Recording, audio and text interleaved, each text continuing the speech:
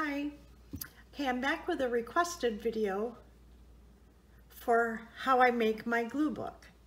My glue book is something that I use to make ephemera, tags, the base, the basis for tags, journaling cards, and it's just a book where I glue in all my scrap papers.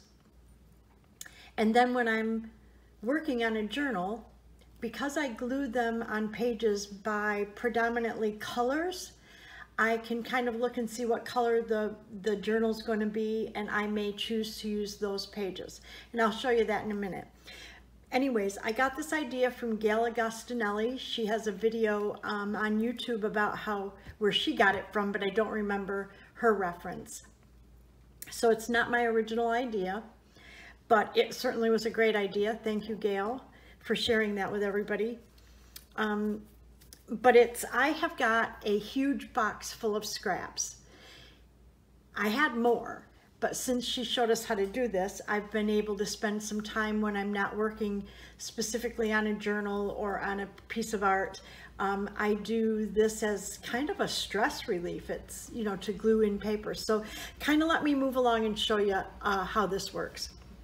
So this is an old math book and when you open it up, it's just an old math book.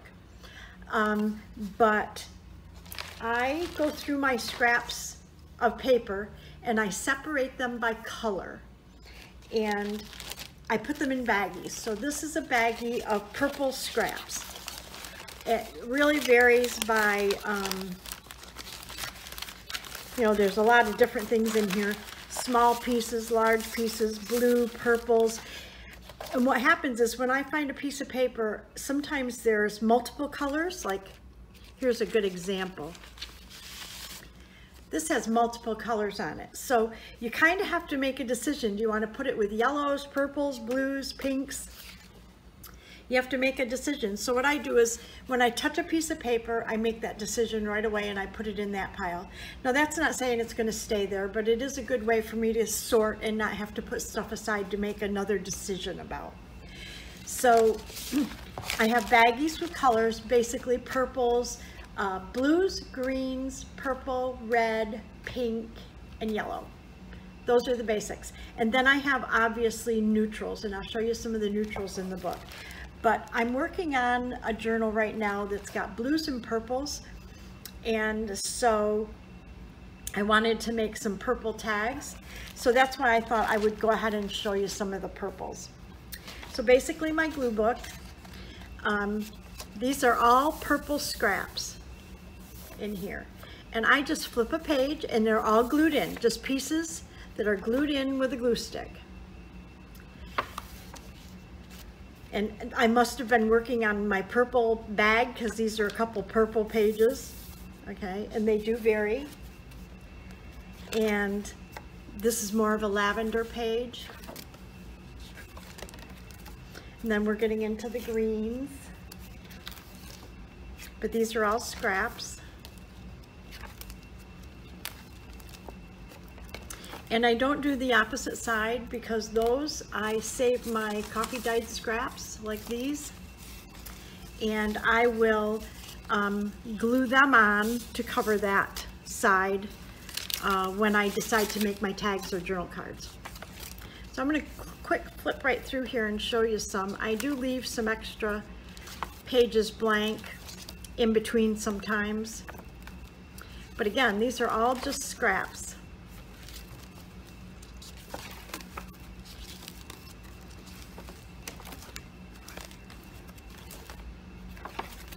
And this is a neutral page, so it's black. These, these are like cream, black, brown, beige, white, gray, more neutral colors. This is actually a paper I designed for a digital kit that I made.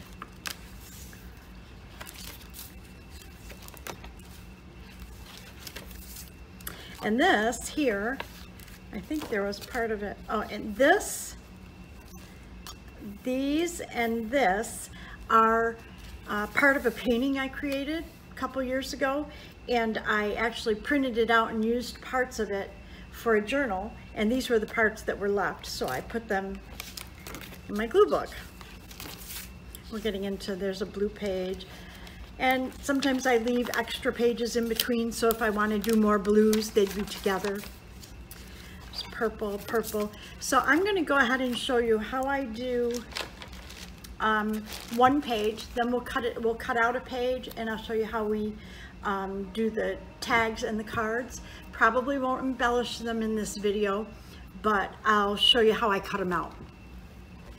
Um, so let's get started. I'm gonna have a seat and we'll just get gluing.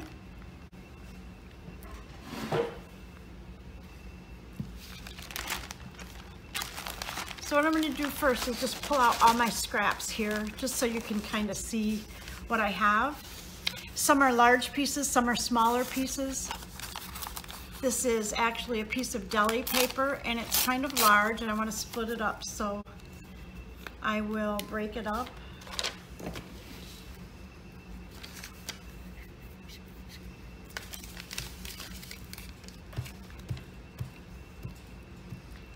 And I apologize if my table's kind of moving. I can't tell um, in the video, but my house is under renovation, so I have a folding table that I'm working on until my little craft area gets finished. We've been in renovation since November, so if you can tell, like right now I'm crafting in my living room, which is not ideal. Certainly not ideal for making videos. Um,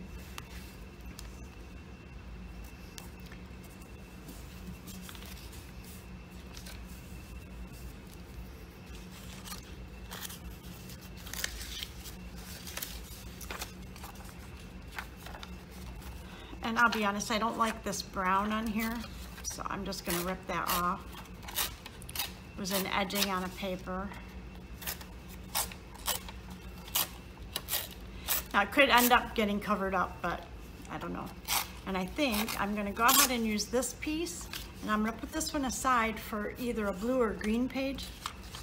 And I think I might do the same with this.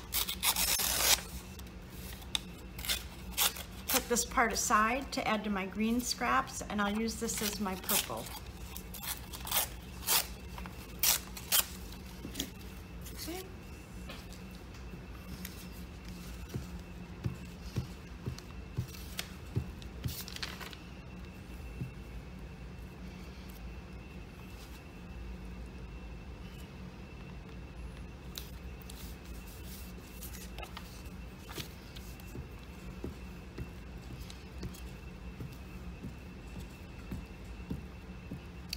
I'm just not so sure that this table's not moving all over, but it's hard for me to tell, so.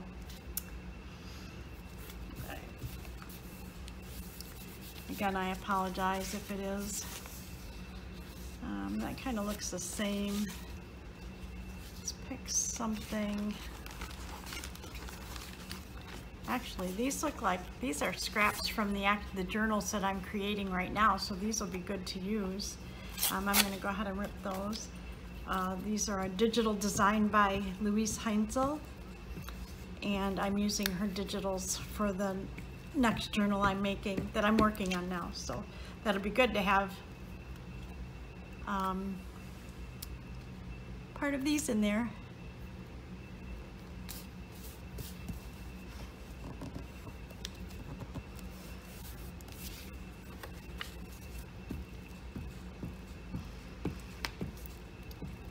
What's good about um, having a glue book like this is, like I said in the beginning, it is very much so a stress reliever.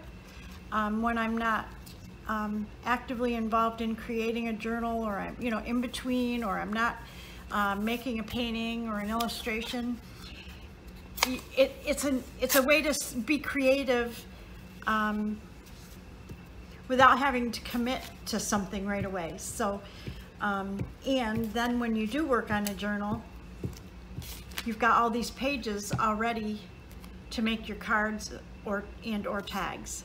Oh, I don't want to cover that up too much. Let's maybe, oh, let's put it right here.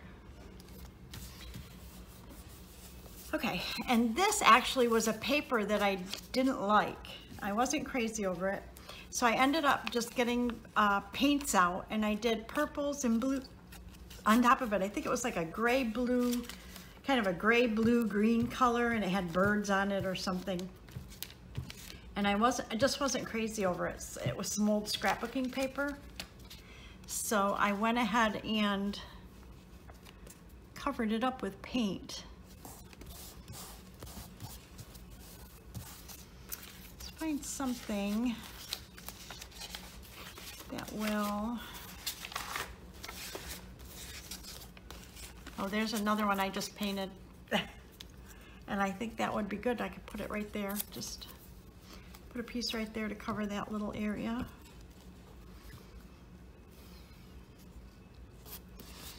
Okay.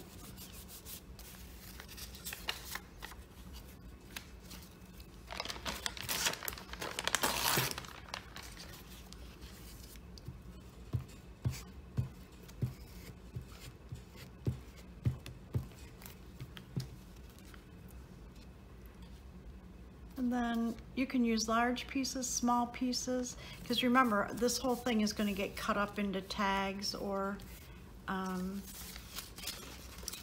cards.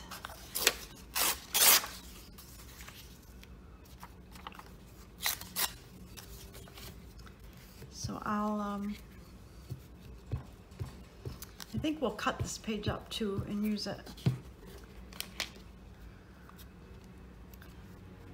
That way you can see it from start to finish, pretty much how I do it. Seeing a couple things down here that I'm kind of liking. Let's see what we got.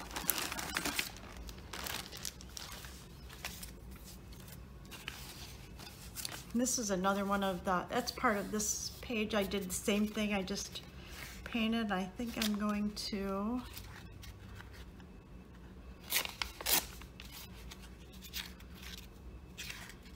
let's put it right there.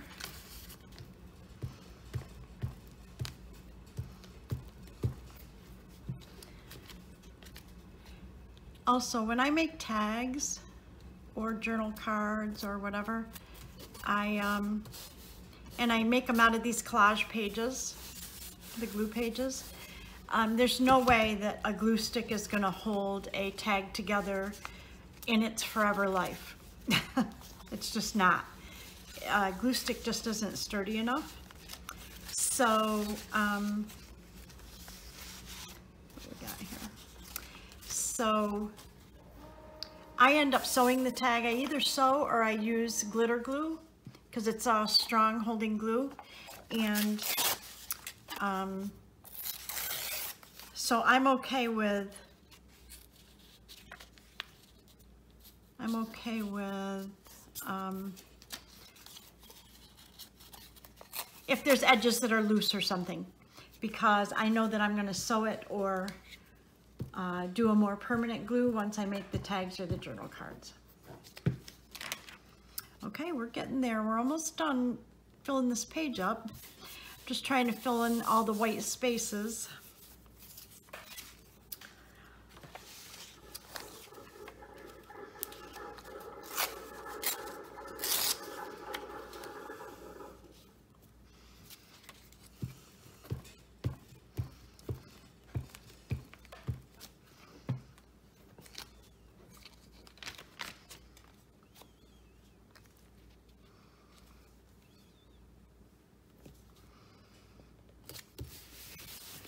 Well, this is pretty. This is a lot of really nice purples in there. Maybe I'll take a piece of this.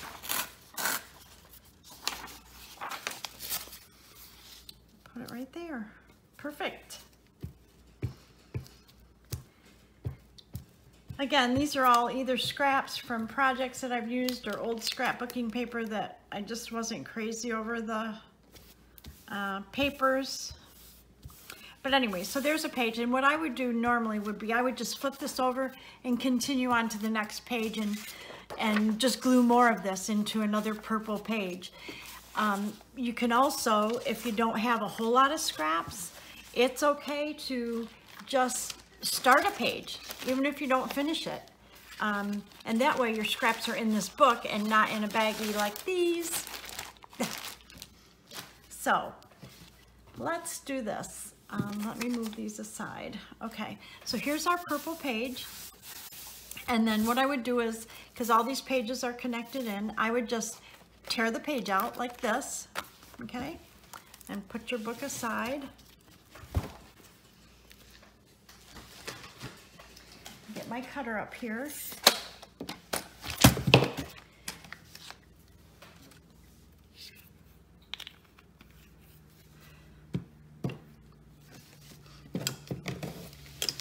Okay, so first, very first thing I'm gonna do is I'm gonna straighten this edge right here because I don't have paper all the way out to the edge. So I'm gonna make it a straight edge here. And I think my cutter needs a new blade. So let's see if we can get it cut. Yes, we did. Okay. And then I also know that my, my preference is a two and three quarter inch tag or three inch. In this case, if I do two and three quarter inch, two and three quarter inch, I still have a good size here for another. So let me see what I got going this way. Two and three quarter.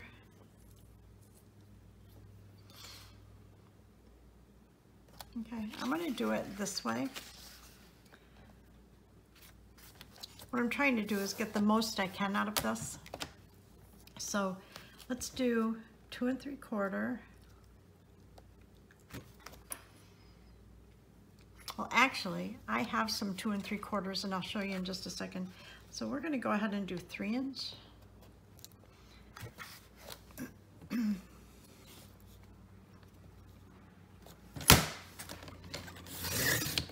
so we're doing three inch, okay?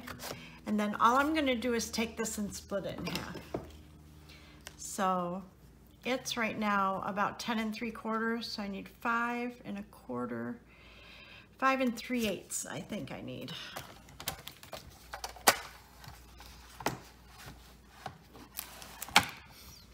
So 5 and one, two, three eighths. And that should make them both about the same size, not exactly maybe. So then I have two for tags. And then this see how big this is. Well, this is almost five and three eighths right there. So I'm gonna go ahead and make another three inch tag because this is about five and three eighths. So let's make another three inch tag. Again, I apologize if my table's moving all over the place. And then this, I think I'm gonna divide into a, to journal cards. So I'm going to just look at basically it's not quite eight inches so I'm going to make them not quite four inches let's see. It's seven and seven eighths so I need seven three eighths three six seven and seven sixteenths seven, seven so three and seven sixteenths I need. So three and who the heck knows what that 7 16 is? Let's just mark it. I can't do that in my head. So that's about does that look like the middle? Let me I'm just gonna do this. How many people do this to find the middle? That's how we're gonna find it. So, okay? All right. And then this I'm gonna trim off. Get the white off of it right here. Hold this up there and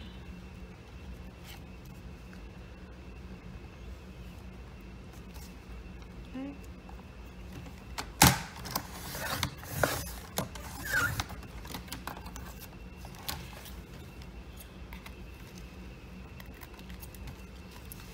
then we want to trim this one. Okay, so that is what we got out of this piece of glue book page. We got three size for tags and two journal cards. So what I would do next is I would go ahead and cut my tag tops. I think I'll do it this way. I'll cut these.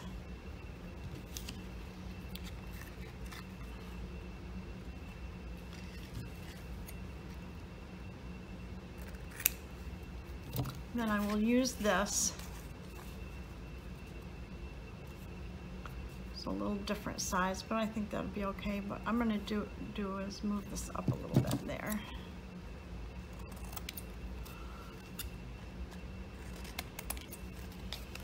This is not an exact science either. Okay.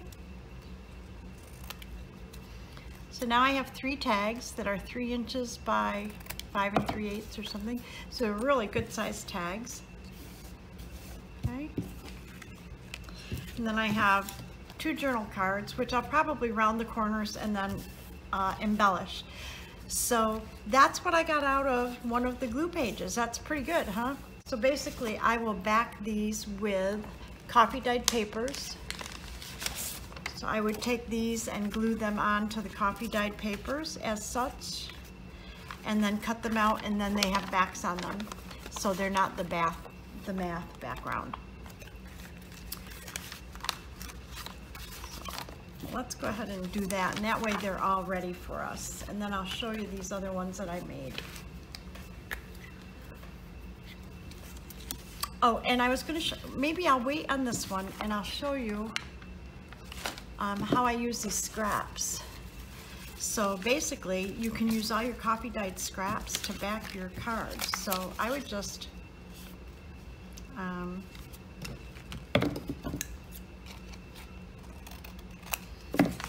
glue that on.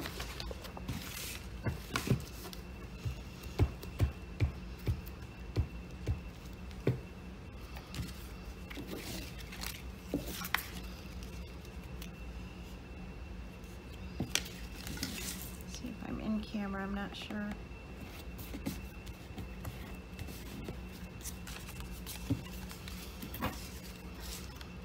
Um, glue another one.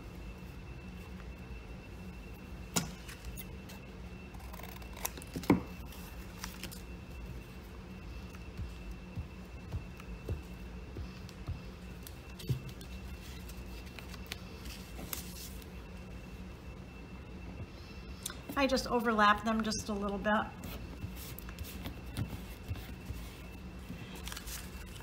And then this really isn't big enough for this just, just now, so I'm gonna go ahead just and use these other scraps here, just so we can get one covered so I can show you.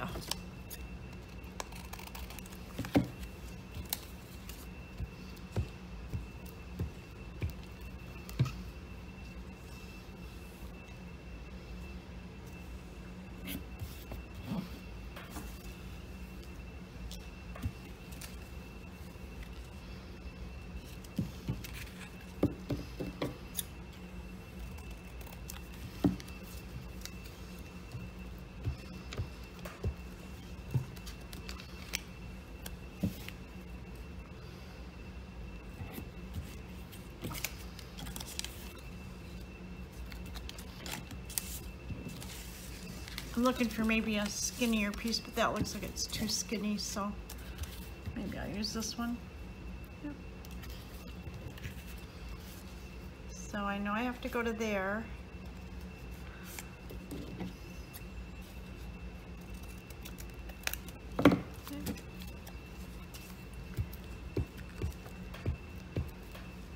You don't realize sometimes how every little piece makes a difference sometimes? You can really use your scraps for a lot, so. Okay, and then I just turn it over to the front and I will trim that off.